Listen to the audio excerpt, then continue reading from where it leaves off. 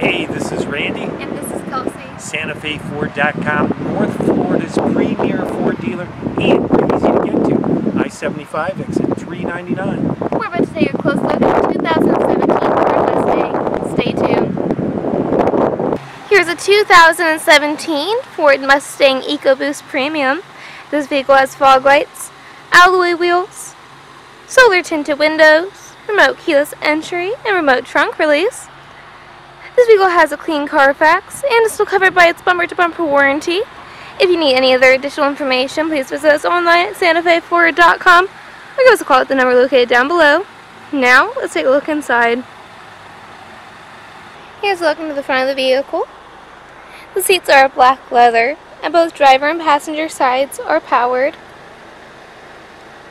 Inside this vehicle, there are powered windows, locks, and mirrors. Here's a look onto the dashboard and of the steering wheel. Over the media center, there's Sirius satellite radio. This is also where the vehicle displays its backup camera.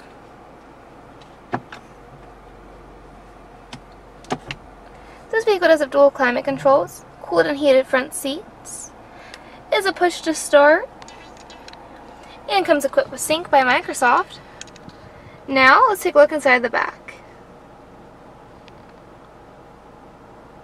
Here's a look into the back row.